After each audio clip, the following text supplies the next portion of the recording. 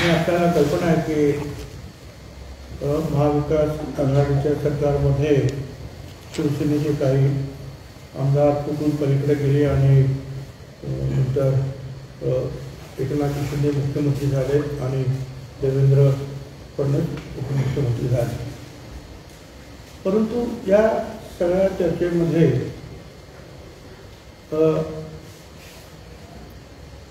आम्ही उद्धवजी ठाकरे यांच्यापासून दूर का गेलो?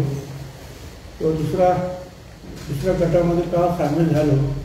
याच्याबद्दल अनेक कारणं दिली जातात पण दोन चार वेळा आणि आज सुद्धा एका गोष्टीचा उल्लेख झाला आणि तो वारंवार होतो की छगन भुजबळ यांनी बाळासाहेबांना अटक केली. त्यांच्या शेजारी तुम्ही कसे काही जाऊन बसला? असा प्रश्न जो आहे हा उद्धवजी ठाकरे यांना हे शिंदे गटाचे जे काही आमदार आहेत शिवसेनेचे ते विचारत असतात. खरं म्हणजे ह्या सगळ्या गोष्टी ज्या आहेत म्हणून आता बरीच वर्ष झालेली वीस पंचवीस काही गोष्टी वीस पंचवीस वर्षाच्या पूर्वीच्या काही तीस पस्तीस वर्षाच्या पूर्वीच्या आहेत. नवीन शिवसैनिकांना किंवा काही आमदारांना सुद्धा या गोष्टी काही माहिती असण्याची शक्यता नाही. ते जुने जाणते जे आहेत शिवसैनिक त्यांना सगळी कल्पना आहे. की शिवसेना स्थापन झाल्या त्या दिवसापासून मी शिवसेनेत सामील झालो. सगळ्या जवळपास आंदोलनात माझा सहभाग होता. हळूहळू हळू आपल्या आपण मी पहिले जे शाखा प्रमुख झाले या महाराष्ट्रातले त्याच्यामध्ये मुंबईमध्ये दहा पंधरा शाखा प्रमुख झाले त्यातला मी एक होतो. आणि नंतर मी नगरसेवक झालो वीस वर्षानंतर महापौर आणि आमदार म्हणजे पहिला महापौर आमदार मुंबईचं मी झालो दोन वेळा असे झालं. हेही आपल्याला सगळ्यांना कल्पना आहे की वेगवेगळ्या आंदोलनामध्ये मला अटका सुद्धा झाल्या. मार सुद्धा खावा लागला. मुख्यमंत्री एकनाथजी शिंदे यांनी विधानसभेत ज्याचा उल्लेख केला त्या बेळगाव प्रकरणामध्ये मीच पुढे होतो. कारण शिवसेनेचं नेतृत्व मी केलं होतं. पहिली बॅच गेली. त्याचं नेतृत्व पवारसाहेबांनी केलं होतं. आणि दुसरी बॅच आहे तिचं नेतृत्व शिवसेनेनं बाळासाहेबांनी छगन भुजबळ हे नेतृत्व करते म्हणून सांगितलं. आणि त्याप्रमाणे ते मी त्याचं नेतृत्व केलं. आणि मला माहिती होतं की मी त्याच्या अगोदरच सुंदर मुंबई मराठी मुंबई वगैरे वगैरे घोषणा देऊन शिवसेनेचं महापौर म्हणून काम केलेलं होतं. आणि हे सगळे कन्नड कर्नाटकचे जे पोलीस वगैरे होते मला कल्पना होती की ते मला आतमध्ये येऊ देणार नाही. अटक ताबडतोब करणार. आणि तिथे ठरलं होतं की एका पॉईंटवरून दुसऱ्या पॉईंटवर जायचं. म्हणजे एका चौकातून दुसऱ्या चौकाचं नाव विसरत आपण कदाचित संभाजी चौक आणि हुतात्मा चौक अशी काही ते नावं असण्याची शक्यता आहे पण मी ती नावं विसरलो. आणि तो दिवस ठरला. आणि मग मी ते विषांतर होऊन वगैरे करून गेलो तो आपल्या कल्पना आहे. त्याच्यामध्ये प्रचंड मला मलाही मार बसला. आणि दोन महिन्यांनी मी सुद्धा सुटलो. त्याच्यानंतर वरुडला सुद्धा असं आंदोलन झालं. आणि तिथे सुद्धा मी स्कूटरवर गेलो. स्कूटर पडले माझ्या नका निघाली बोटाची भार लागला आणि मी गमच्या वगैरे घालून असं गेलो. आंदोलन असे आंदोलन करत करत करत या शिवसेना वाढवण्याचं काम झालं. परंतु ज्या वेळेला आणि एवढंच नाही तर शिवसेना बी जे पीचा जो समझोता पहिला झाला त्या समझोता करताना सुद्धा शिवसेनेच्या बाजूने जे दोन तीन लोक होते त्याच्यामध्ये मी होतो. प्रत्यक्ष प्रमोद महाजन त्या आणि शिवणकर वगैरे ती मंडळ होती समोर त्यांच्यावर चर्चा करताना. तर हा सगळा इतिहास आहे. पण पुढे जे आहे मंडळ आयोगाच्या बाबतीमध्ये ओबीसीच्या प्रश्नावरून माझे आणि बाळासाहेबांचे मतभेद झाले. आणि शेवटी जे आहे आम्ही अठरा लोक अठरा लोक आमदार म्हणजे त्यावेळेची कायदा वेगळा होता. एक तृतीयांश आमदार ते आम्ही बाहेर पडलो. त्या त्यामध्ये सुद्धा मग शिवसेना ब गट तयार झाला. आणि त्या शिवसेना ब गटातले सुद्धा सहा आमदार म्हणजे परत एक तृतीयांश अठरातले ते परत गेले शिवसेनेत. आणि बारा लोक आम्ही काँग्रेसमध्ये शेवटी आम्ही सामील झालो. आणि नंतर मंत्री वगैरे झालो ती गोष्ट आता पुढे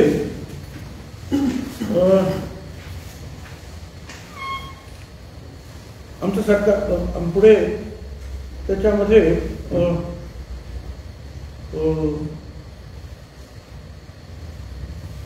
रमाबाई नगर कांड झालं. त्याच्यामध्ये बाबासाहेब आंबेडकरांच्या पुतळ्याला कुणीतरी विटंबना केली आणि म्हणून आंदोलन पेटलं. त्याच्यामध्ये अकरा लहान मोठी माणसं जे आहेत ती गोळीबारामध्ये ठार झाली. मी त्यावेळेला अर्थातच काँग्रेसचा विरोधी पक्ष नेता होतो विधान परिषदेमध्ये. स्वतः तिथे भेट दिली आणि आरोप केला की शिवसेना बीजेपीचं सरकार या हे कोणी आहेत या यानंतर माझ्या घरावर शिवसैनिकांचा हल्ला झाला. तो फार वेळा त्या हल्ल्याच्या बाबतीमध्ये सुद्धा अडकलेले जे शिवसैनिक होते मी आता अलीकडे जे आहे दोन वर्षापूर्वी ती केस चालली. आणि त्यावेळेला मी सांगितलं की मी कोणाला ओळखत नाही. आणि ती केस सुद्धा शिवसैनिक त्याच्यातून सुटले.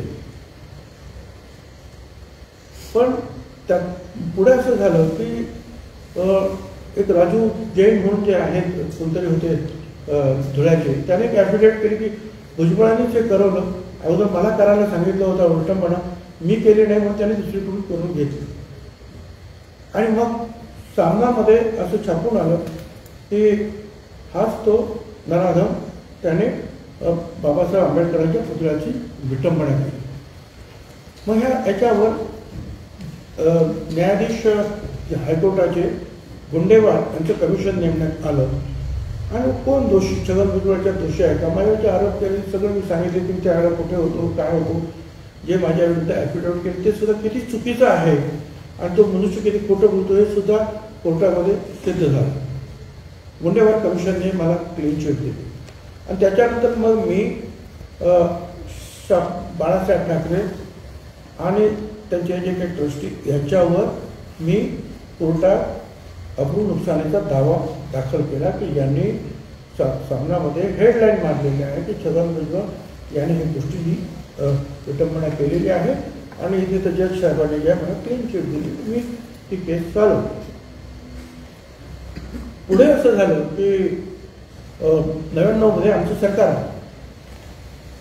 आणि आमचं सरकार आल्यानंतर शिवाजी पार्कला झालेल्या जाहीर सभेमध्ये आम्ही सांगितलं होतं की ब्याण्णव त्र्याण्णवच्या दंगलीमध्ये जे जे गुन्हेगार आहेत असं श्रीकृष्ण कमिशनने सांगितलं त्या त्या सगळ्यांवर आम्ही खटले दाखल करू आता मी नेमकाच गृहमंत्री झालो उपमुख्यमंत्री झालो नव्याण्णवमध्ये आणि ती फाईल जी आहे माझ्याकडे आहे. सगळ्या फाईल क्लोज झाल्या होत्या बाळासाहेबांच्या विरुद्धच्या पण ही फाईल मात्र जी माझ्याकडे आली. आणि त्याच्यामध्ये असं म्हटलं होतं की बाबा कायदा असं म्हणतो की बाळासाहेबांवर केस दाखल केली पाहिजे अटक केली पाहिजे. आता माझ्याकडे मी एक विधा मनस्थिती होतो. परंतु शिवाजी पार्कवर आम्ही आमच्या पक्षाने आम्ही जाहीर केलं होतं की आम्ही श्रीकृष्ण कमिशनमध्ये ज्यांच्यावर ठपका ठेवला त्यांच्यावर कारवाई करू. त्याप्रमाणे ती फाईल आल्यानंतर मी त्याच्यावर सही केली. आणि आपल्याला लक्षात पण सही केल्यानंतर ज्या वेळेला त्यांना अटक होणार वगैरे अशा चर्चा सुरू झाल्या. त्यावेळेला आज सुद्धा एम एन सिंग नावाचे अ, त्यावेळेचे पोलीस कमिशनर आज हयात आहे त्यांना मी बोलून सांगितलं की बाळासाहेब ठाकरेंना पोलीस कस्टडी घ्यायची नाही. जामीन मिळत असेल तर तो त्यांना घेऊ द्या. त्यांना आपल्याला अटकेत ठेवायचं नाही. नंबर एक. आणि फार फार तरी सुद्धा कोर्टाने त्यांना सांगितलं की नाही की यांना सात दिवसाची कस्टडी. तर मातोश्री हाच एक जेल समजून ते होम मिनिस्टरच्या हातामध्ये तो कायदा आहे की ते कुठल्याही वास्तूला जेल जाहीर करू शकतात. मातोश्री हाच जेल जाहीर करून बाळासाहेबांना पुन्हा मातोश्रीतच ठेवायचं पण त्यांना जेलमध्ये न्यायचं नाही.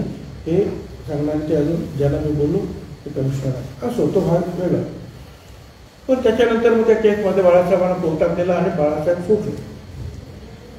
आणि मग अ, सतत हे बाळासाहेबांना बाळासाहेबांनी सुद्धा मला मी जेव्हा शिवसेनेतून बाहेर पडलो त्यावेळेला लोकोबा लोखंडे लोकोबा लोखंडे लोकोबा लोखंडे अनेक वेळा बोलल्यानंतर मी सुद्धा बाळासाहेबांच्या विरुद्ध बोललो. बाळासाहेबांची माझी बरीच खेळाजंगी त्या काही बसस्टँडमध्ये झाली. पण पुढे असं झालं की मी मंत्री असताना साधारणपणे दोन हजार आठ नऊच्या दरम्यान ती जी केस होती अब्रू नुकसानीची मी केलेली ती केस ऐकली गेली होती आणि आता तिचा निकाल लागण्याची पाळी जवळजवळ आली होती. आता हे स्वच्छ होतं कारण सामनामध्ये हेडलाईनच मारलेली आहे की मी मी ते केलं म्हणून जज साहेब म्हणतात की मी ते केलं नाही म्हणून. आणि क्लिअर होतं सगळं की काय होणार. आणि मग मी एकदा असं ऑफिसमध्ये बसलो असताना सुभाष देसाई संजय राऊत स्वतः असं वाटते दोघे तिघे आले. आणि त्यांनी सांगितलं की उज्ज्वल साहेब आम्ही तुमच्याकडे काम घेऊन आलो. म्हटलं काय काम तर ते म्हणाले बाळासाहेबांची जी आहे प्रकृती बरी राहत नाही आणि वय सुद्धा झालेलं आहे याची तुम्हाला कल्पना. तर मग नाही ते आपली जी केस आहे त्या केसच्या संदर्भामध्ये मी आलो आहे म्हटलं ठीक आहे मला समजलं काय. तुम्हाला काय म्हणायचं ते मला समजतं आणि मला एक पत्र सुद्धा दिलं. मी म्हटलं कधी तारीख आहे ते सांगा मला. बांद्रा कोर्टामध्ये केस होती त्याने मला तारीख सांगा म्हटलं तुम्ही काही बोलणार ना तुम्ही जा. मी त्या तारखेला कोर्टामध्ये उभा आहे आणि मी तिथल्या जज साहेबांना हात जोडून सांगितलं की साहेब मला ही केस मागे घ्यायची आहे. ते जज बरोबर म्हणाले तुम्ही काय सांगता? एवढे दिवस ही केस चाललेली आहे. वकिलांचं जे आर्ग्युमेंट झाले आणि तुम्ही म्हणता केस माझ्या तुम्हाला कळतं का? तुम्ही काय म्हणताय ते? म्हटलं हो साहेब मला सर्व कळतं कळतंय. पण मला ही केसच्या मागे घ्यायची. मला माफ करा मी तुमच्या हात जोडून तुम्हाला विनंती करतो. तर पाच मिनटं जे आहेत मग त्या जज साहेब आणि आमचं हे चालू होतं शेवटी म्हटलं साहेब. पुन्हा पुन्हा मी माफी मागतो तुमची पण मला नाही केस चालणार आणि मग ती केस काढून टाकली. त्याच्यानंतर मग ते जे काही तिथले ट्रस्टी होती त्यांच्यावर काय करायचं म्हणून म्हटलं ते पण काढायचं. हे झाल्यानंतर बाहेर आल्यानंतर उद्धव उद्धवजी ठाकरे सुद्धा तिथे होते. आणि त्याने मला सांगितलं की साहेबांनी तुम्हाला चहायला घरी बोलू ते म्हटलं मी नंतर येतो. आणि नंतर एक दहा पंधरा दिवसांनी बाळासाहेब परत फोन आल्यानंतर आणि त्यांनी सांगितलं की तुम्ही तुमची मुलं त्या पत्नी त्या त्या सगळे ओळखतच होते सगळे. ठाकरे फॅमिली जे आहे कुटुंबीय माझ्या सगळ्या कुटुंबियांना चांगले उपयोग होते कारण ते नाशिकच्या बंगल्यावर सुद्धा यायचे. घरगुती आमचे संबंध होते. आणि मग मी सगळे जे आहेत मुलं त्यांची त्यांच्या मुली पत्नी वगैरे आम्ही सगळे सुना वगैरे गेलो. आणि जवळजवळ सात आठ तास तिथे होतो. नाश्ता जेवण गप्पा गप्पा. आणि साहेबांबरोबर जे हसत खेळत आम्ही तिथे तो वेळ घालवला. त्याच्यानंतर बाळासाहेबांनी सुद्धा कधी मला काही बोलले नाही. मी बाळासाहेबांना कधी काही बोललो नाही.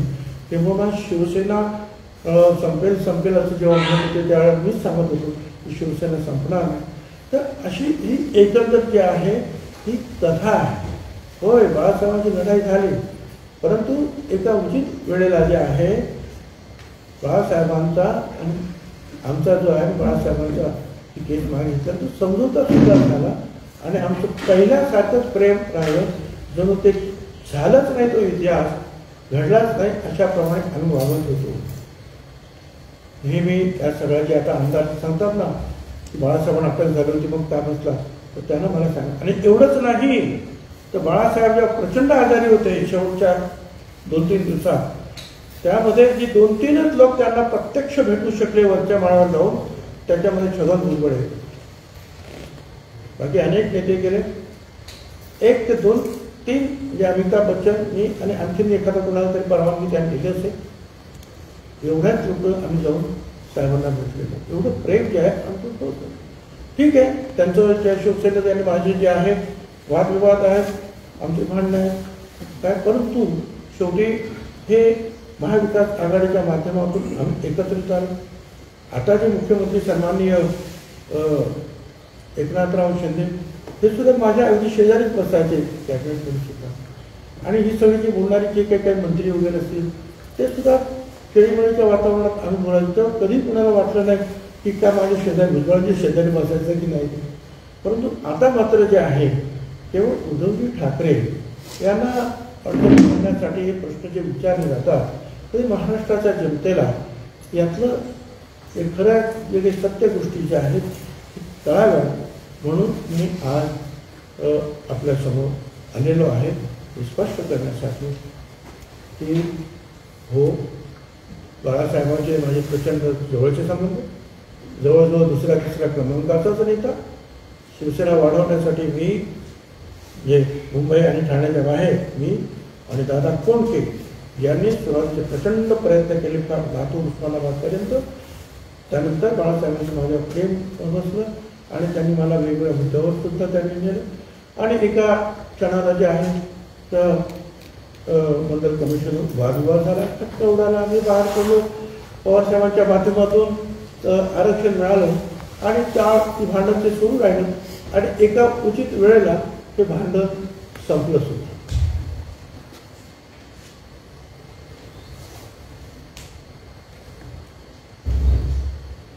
त्याचा हा एकूण इतिहास आहे. कारण या सगळ्या गोष्टी प्रत्येक वेळेस कोणाला कळत नाही सांगता येत नाही. काही लोक विसरून गेलेले असतात. आणि अनेक नवीन आमदार त्यातले अनेक आमदार मंत्रीसुद्धा जे आहेत तर मी शाखा वगैरे नेमलेलं आहे. ते अजूनसुद्धा मला मानतात. त्यांनी चांगलं काम केलं. असो त्यांच्यातले ते जे आहेत मतभेद मिटो. आणि माझे तुम्ही काल पण सांगितलं. की शिवसेना संपावी असं कुणालाही महाराष्ट्रातल्या एकाही किंवा जगातल्या कुठल्याही मराठी माणसाला वाटत असेल असं मला वाटत नाही. परंतु भांडणं होतात. काय? भांडणं निघेल अशी मी तरी अपेक्षा करतो आहे. आणि एवढंच की हे सगळं करत असताना एकमेकावर कटू प्रहार करू नये त्यानेसुद्धा काही लोक दुःखी होतात. काय? आणि ही लढाई जी आहे लढाई म्हणा किंवा मतभेद आहे हे याला कुठेतरी बोलत असताना सीमोल्लंघन होणार नाही पाहिजे आपण चौऱ्याऐंशी पंच्याऐंशी साली डिस्कस? करू. बोलू. आपण चौऱ्याऐंशी पंच्याऐंशी साली जी दादा पंपींची आठवण सांगितली. नाशिकला आपण खूप शाखांचं उद्घाटन केलं होतं. त्या दिवशी संध्याकाळी हायस्कूल ग्राउंडवर दादा कोणके आणि बाळासाहेबांच्या उपस्थितीत एक प्रचंड सभा जाहीर जाहीर सभा झाली. त्याबद्दल काही ते आठवण खरं आहे ते. नाशिकची शाखा अनेक शाखा ज्या आहे महाराष्ट्रातल्या. दिवशी खूप सकाळी शाखा झाल्या त्याचं उद्घाटन मी केली. आणि नाशिकला तर प्रत्यक्ष बाळासाहेब यांना आणून आपण त्या मला वाटतं त्या इथे मार्केट आहे ना आपलं गाडगे गाडगे महाराज हायस्कूल ग्राउंडवर सभा झाली. होती हां त्या तिकडे सभा झाली. स्टेडियम ग्राउंडवर. घोडे वगैरे आणले होते आणि अ, दादा अ, आणि बाळासाहेब वगैरे सुद्धा होते. आणि प्रचंड सभा झाली होती. आणि शिवसेना जी स्थापन झाली मुळात जी आहे या नाशिक जिल्ह्यामध्ये तिला जास्त उभारी ही भगूर शहरातून मिळाली. भगूर. काकासाहेब सोलापूरकर होते? सोलापूरकर होते त्यावेळेस. त्यावेळेला सोलापूरकर होते. अं, मालेगावला तिथे दत्ता बिडारे वगैरे होते. भगूरला सुद्धा फार चांगली जे आहेत शिवसैनिक होते त्याचे बिचारे आता काही गेलेले आहेत. परंतु तिथून ती जे आहेत नाशिकमध्ये सुद्धा शिवसेनेचे जे आहेत पेरले झाले. ठीक आहे ते इतिहास आहे. साहेब तुम्ही आता बोलताना बाळासाहेबांच्या आठवणी सांगितलं तुम्ही भाऊ देखील झाले बघायला मिळालं. शिवसेना अशी संपूर्ण आहे असं देखील तुम्हाला वाटतंय?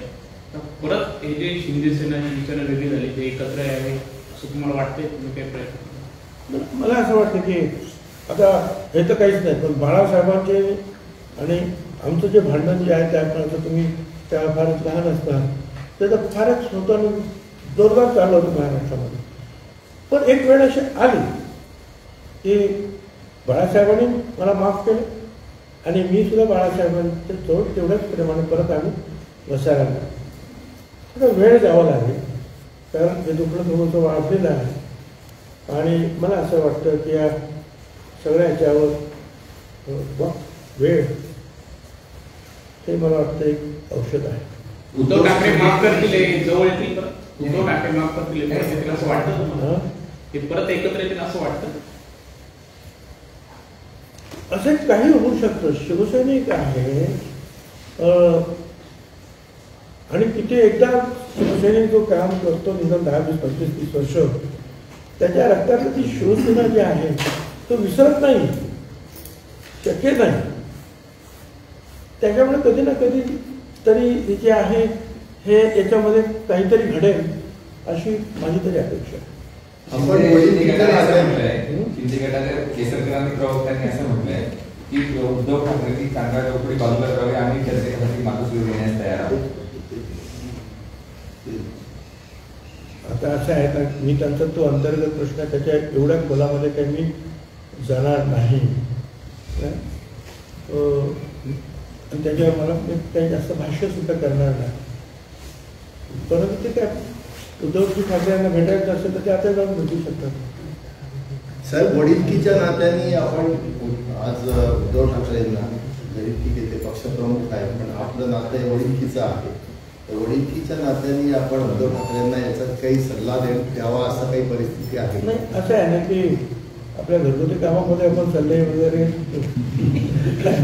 परंतु जेव्हा राजकारण थोडं तापतं त्यावेळेला त्याच्या पलीकडे सगळं जातं कधी जेव्हा भेट झाली तेव्हा थोडंसं हळूहळू एक वादळ उठलेलं आहे. ते वादळ कधीतरी तर शांत होईलच. आणि मग जे आहे त्याच्यामध्ये काय पडझड झाली? आणि मग एकमेकाचे आवाज एकमेकाला ऐकू येतील. वादळामध्ये कदाचित जे आहे जास्त ऐकायला येत नाही. इकडे काय तिकडे काय? प्रत्येकजण आपापल्या मार्गाने जातो. परंतु माझी एक सदिच्छा आहे की शिवसेना ही पूर्ववत व्हावी. ठीक आहे. ते आता महाविकास आघाडीत आहे. उद्या काय होणार मला माहिती नाही. त्यांचे आणि आमचे जे आहेत मी राष्ट्रवादी काँग्रेस पक्षामध्ये आहे. मतभेद असतील कदाचित आम्ही एकमेकांच्या विरुद्ध निवडणुका पण नसतो काय काय पुढे काय भविष्यात काय काय सांगता येत नाही. परंतु आज मी तरी एवढंच सांगेन शिवसेना जी आहे ती टिकली पाहिजे एकत्र राहिली पाहिजे मजबूतीने. आणि कारण काय हे झाले आमदार आहेत मंत्री आहेत उद्धवजी ठाकरे आहेत ते सर्व मला मान्य आहे. परंतु लाखो शिवसैनिक गावागावात पसरलेले त्यांचं काय करायचं? त्यांच्याकडेच तर सगळ्यांनी बघावं असं माझं म्हणणं आहे. आपण उद्धव ठाकरेंना जरी सल्ला देऊ शकलो नाही तरी मी नाही सल्ला देऊ शकणार कोणाला. एकनाथ शिंदेच्या बाबतीत मात्र त्यांचे जे गुरु एकनाथ शिंदे त्यांना गुरु मानतात. ते आनंद दिघे देखील आपले कार्यकर्ते होते. पण त्यांनी आपल्यासोबत काम केलेलं आहे. हो बरोबर आहे. आनंद दरबार आनंद दिघे सुद्धा माझ्याबरोबर काम करत होते. त्यानंतर काम ते पाहायचे मी त्या एकमेव आमदार होतो त्यांना अटक झाली होती. आणि मी बरेच दिवस आली होती नंतर मी वसंतदादा पाटलांकडे गेलो होतात आणि वसंतदादा पाटलांनी त्यावेळेचे गृहराज्यमंत्री शिवाजीराव देशमुख यांना फोन केला. मला सांगितलं तुम्ही त्यांच्याकडे जा. मी त्यांच्याकडे गेलो. आणि मग त्यांनी सगळी जी आहे सूत्र हलवली. आणि मग आनंदजी साहेबांना भेटायला तिकडे कारागृहात ठाण्याच्या गेलो. आणि त्यांना काय पुढची पंखा अमुक तमुक टेबल पाहिजे होतं त्याची सगळी सोय केली.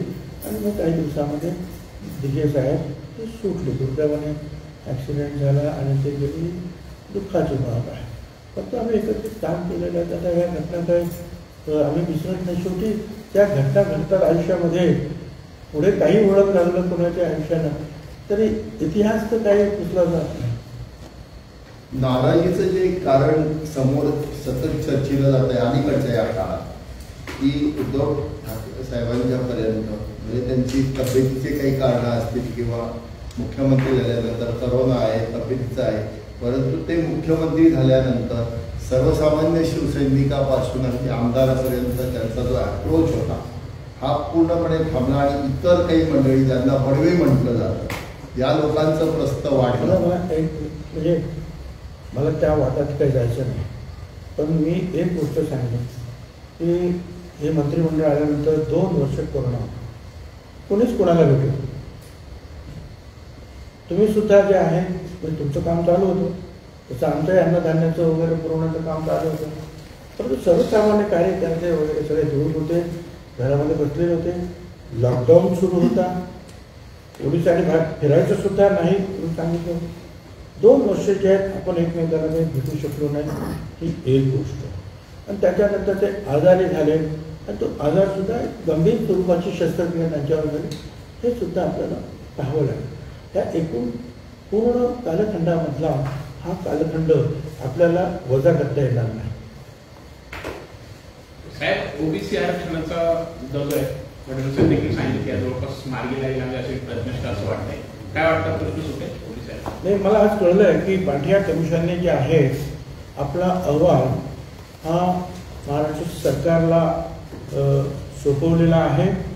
मी या बाबतीमध्ये उपमुख्यमंत्री फडणवीस साहेब यांच्याबरोबर सुद्धा चर्चा केली. आहे. आणि त्यांनी मला सांगितलं की आपण तुषार मेहता जे अ, अटॉर्नी जनरल ते सॉलिसिटर जनरल काय आहे ते भारत सरकारचे त्यांना आपण उभं करतो आहोत. मी त्यांना दुसरंही नाव सांगितलं की मनविंदर सिंग जे आहेत चांगले वकील ज्यांनी मध्य प्रदेशची काळजी मांडली. त्यांनाही बरोबर घ्या. आणि हे सगळं जे आहे आता अहवाल आला आहे तो अहवाल तुम्ही बरोबर पाहून काय योग्य त्यांना पाहून टाका. आणि ओबीसी जे आहेत अ, त्या ओबीसी समाजावर आम्ही काही काम केलं आहे. बरंचसं काम पाठिया कमिशन नेमणं ती माहिती आणून देणं त्याचं जे काय परीक्षण करणं आहे ते पाठिया कमिशनने केलेलं आहे. त्याच्यावर काही त्यांनी दिले त्याच्यामुळे काही आम्ही सुद्धा बरंचसं त्याच्यावर काम केलेलं आहे. आता शेवटच्या टप्प्यामध्ये ते शिंदे साहेब आणि फडणवीस साहेब यांच्याकडे ते काम गेलेलं आहे. तर त्यांनी काळजीपूर्वक ते काम करावं. आणि केवळ ह्या ओबीसींनाच नव्हे महाराष्ट्राच्या तर तो तसा असा निकाल यावा की देशातील सगळ्या ओबीसींचा हा जो तिढा जो आहे हा सुटला जावा आणि आरक्षण त्यांचं कायम राखावं आपण या सग- आपण या सगळ्या सद्भावना व्यक्त केल्या. परंतु नवीन सरकार आल्या आल्या पहिला फटका आपल्याला बसला नाशिक जिल्ह्याला. आपला मोठा विधी रोखला गेला. काय म्हणाले जसं आहे मी त्याच्यावर बोललो त्या निधी काही हा माझ्या एकट्याचा नव्हता अख्ख्या जिल्ह्याचा होता.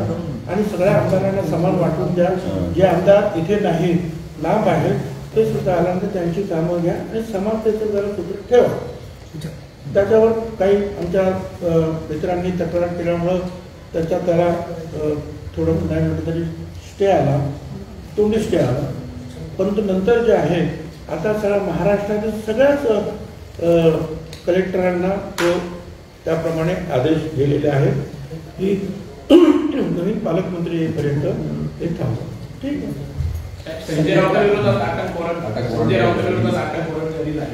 मी काय ऐकलं नाही कोणी कोर्टाने काढले आदेश. कोर्टाने काढलेला आहे.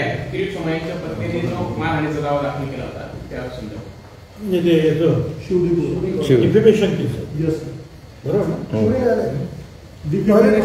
कोर्ट. कोर्ट टॉयलेट वगैरे टॉयलेट घोटाळ्याच्या याच्यात डिफेमेशन बरोबर. टॉयलेट घोटाळ्याचे जे आरोप झाले होते.